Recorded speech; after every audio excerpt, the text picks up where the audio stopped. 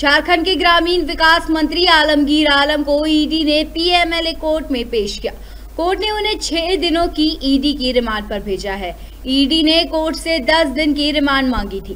करीब पौने 12 बजे ईडी की टीम उन्हें पीएमएलए कोर्ट लेकर पहुँची। जब आलमगीर आलम को कोर्ट रूम में ले जाया जा रहा था, तब उनके समर्थकों के नारे लगाए। जिसके बाद कोर्ट परिसर में मौजूद पुलिस ने उन्हें नारेबाजी करने से रोका।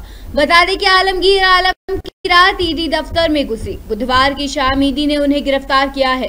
दो के सवाल जवाब के बाद ये कार्रवाई हुई है। इससे पहले ईडी ने मंत्री के पीएस संजीव लाल और उसके नौकर जहांगीर को गिरफ़्तार किया था। जहांगीर के घर से 30 करोड़ से ज़्यादा कैश मिले थे।